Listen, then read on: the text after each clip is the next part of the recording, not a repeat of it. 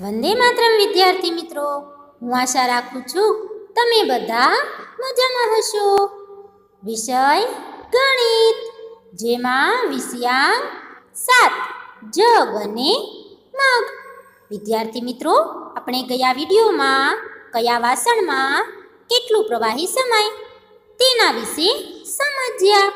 આજે આપણે વિષયાંક સાત જગ અને મગમાં આગળ જોઈશું. તો ચાલો, વિદ્યાર્થી મિત્રો, તમે આગળ સમજવા માટે તૈયાર છો ને? જુઓ, વિદ્યાર્થી મિત્રો, ગણિત આઈડિયલની બુકમાં પાના નંબર પંચાવન, જેમાં પ્રશ્ન ચાર, અહીં જુદા જુદા વાસણો આપેલા છે. દરેક વાસણમાં કપ વડે પાણી ભરેલું છે. આ પરથી માગ્યા મુજબ જવાબ આપો.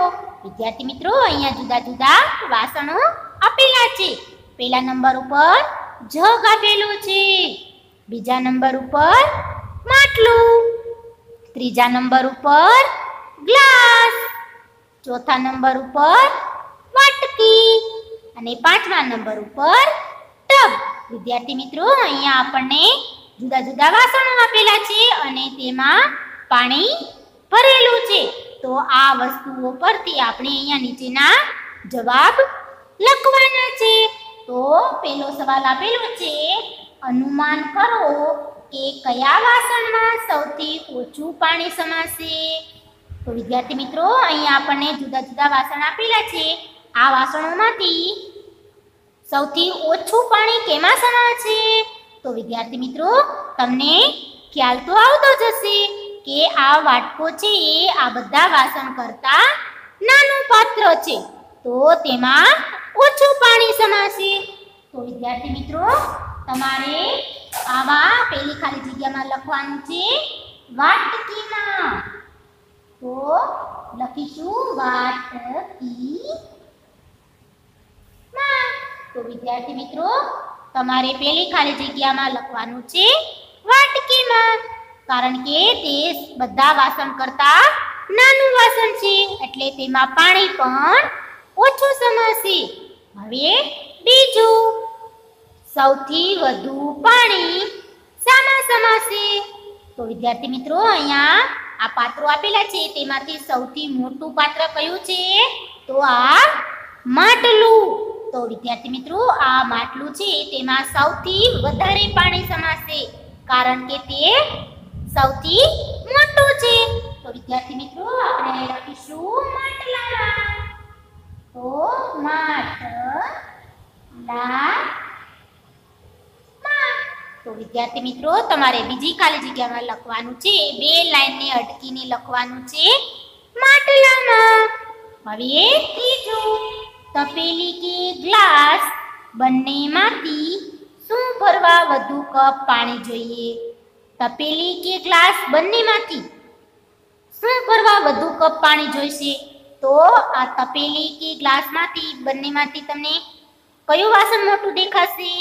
તો તપેલી. તો વધારે પાણી શેમાં જોશે?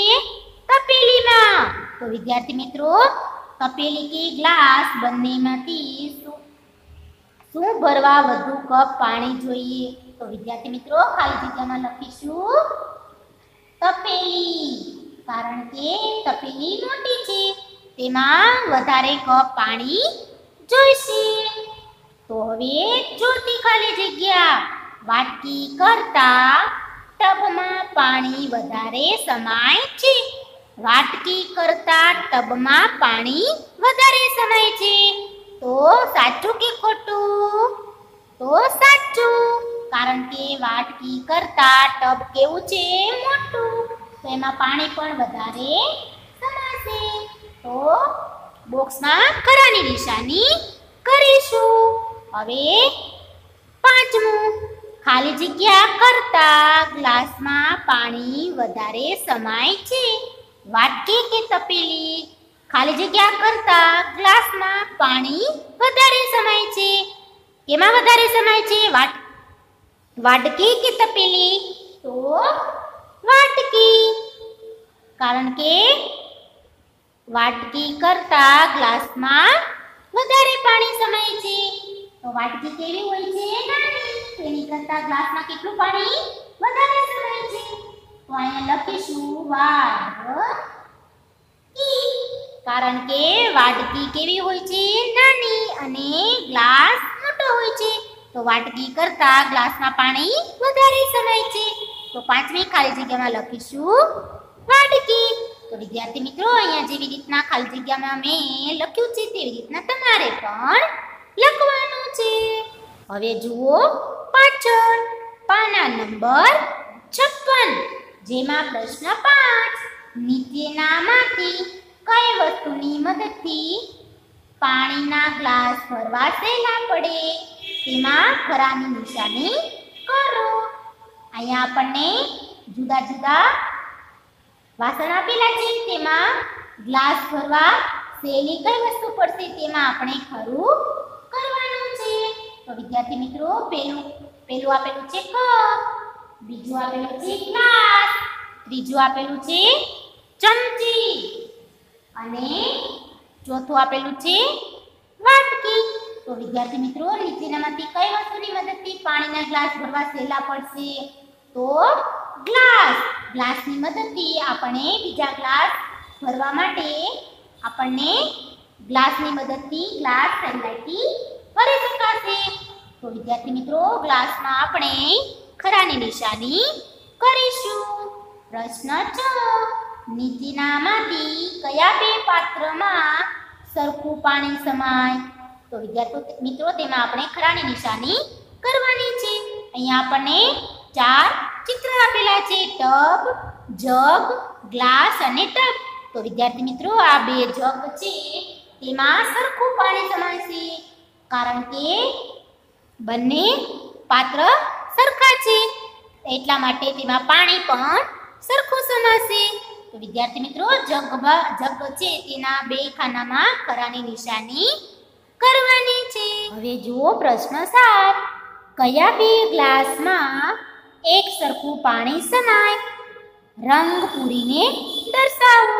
વિદ્યાર્થી મિત્રો, અહીંયા જુદા જુદા ગ્લાસ આપેલા છે. તેમાં એક સરખું પાણી કયા ગ્લાસમાં ભરાય? તે ગ્લાસમાં આપણે રંગ પૂરવાનો છે. તો જુઓ વિદ્યાર્થી મિત્રો, પહેલા નંબરનો ગ્લાસ અને ત્રીજા નંબરનો ગ્લાસ. તે કેવા છે બે બંને ગ્લાસ? સરખા. એટલે સમાન સરખા છે એટલે પાણી પણ તેમાં સરખું સમાશે તો વિદ્યાર્થી મિત્રો, આ બંને સરખા ગ્લાસમાં આપણે રંગ પૂરવાનો છે. તો વિદ્યાર્થી મિત્રો, અહીંયા જેવી રીતના હું રંગ પૂરીને દર્શાવું છું, તે રીતના તમારે પણ રંગ પૂરવાનો છે. તો જુઓ વિદ્યાર્થી મિત્રો, આ બંને ગ્લાસમાં રંગ પૂરવાનું છે અને પાણી સરખું કારણ કે પાત્ર કેવું છે? બંને સરખા. તેટલા માટે પાણી પણ સરખું સમાશે તો વિદ્યાર્થી મિત્રો, તમારે પણ રંગ પૂરવાનો છે.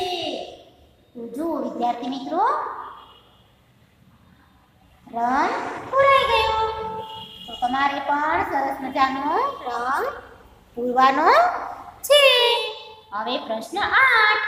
નીચેનામાંથી પાત્રોમાં ઓછાથી વધારે પાણી સમાય તે પ્રમાણે એક, બે, ત્રણ, ચાર ક્રમ આપો. વિદ્યાર્થી મિત્રો, શું કીધું છે? નીચેનામાંથી આ પાત્રો આપેલા છે, તેમાં ઓછાથી વધારે. શરૂઆત ક્યાંથી કરવાનું છે? ઓછું પાણી સમાય, પછી એનથી વધારે પાણી સમાય, પછી એનથી વધારે પાણી સમાય. તે પ્રમાણે અહીંયા આપણે એક, બે, ત્રણ, એમ ચાર ક્રમ આપવાના છે તો વિદ્યાર્થી મિત્રો, અહીંયા આપણને પહેલા નંબર ઉપર ડોલ આપેલી છે, બીજા નંબર ઉપર ગ્લાસ આપેલો છે, ત્રીજા નંબર ઉપર કપ આપેલો છે અને ચોથા નંબર ઉપર બોટલ આપેલી છે. તો સૌથી ઓછું પાણી શરૂઆતમાં કેમાં સમાશે? તો આ કપમાં.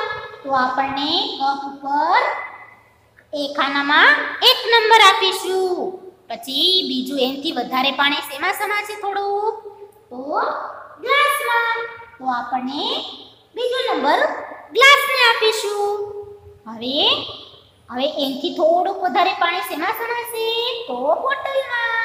તો એમાં આપણે ત્રણ નંબર આપીશું. બોટલના ખાનામાં ત્રણ નંબર આપીશું. અને સૌથી વધારે પાણી શેમાં સમાશે ડોલમાં. વિદ્યાર્થી મિત્રો, આપણે ચાર નંબર આપીશું ડોલને. તો જુઓ વિદ્યાર્થી મિત્રો, વાટકીને પહેલો નંબર, ગ્લાસને બીજો નંબર, બોટલને ત્રીજો નંબર અને ડોલને ચોથો નંબર. તો વિદ્યાર્થી મિત્રો, આપણે જુદા જુદા નંબર આપી દીધા. હવે પ્રશ્ન કાણું પડેલા પાત્રમાં પાણી ભરતા, પાણી ધીમે ધીમે ઓછું થઈ જશે. હા કે ના? વિદ્યાર્થી મિત્રો, કોઈ પણ વસ્તુ કે પાત્ર, કાણું પડેલું પાત્ર હોય તેમાં પાણી ભરવામાં આવે તો પાણી ધીમે ધીમે ઓછું થઈ જાય. તો હા કે ના? વિદ્યાર્થી મિત્રો, હા. કારણ કે પાણી ઓછું થઈ જાય. કારણ કે કાણું પડેલું પાત્ર હોય તેમાંથી પાણી નીકળી જાય. એટલે પાણું શું થઈ જાય? ઓછું થઈ જાય. તો આપણે ખાલી જગ્યામાં લખીશું, હા. તો જો વિદ્યાર્થી મિત્રો, હોમવર્કમાં તમારે ગણિત આઈડિયલની બુકમાં પાના નંબર પંચાવન અને છપ્પન પૂર્ણ કરવું અને ઘરકામની નોટમાં પાના નંબર પંચાવન અને છપ્પન લખી પાકું કરવું. તો વિદ્યાર્થી મિત્રો, આપણે ફરી મળીશું આવતા વિડીયોમાં. ત્યાં સુધી આવજો.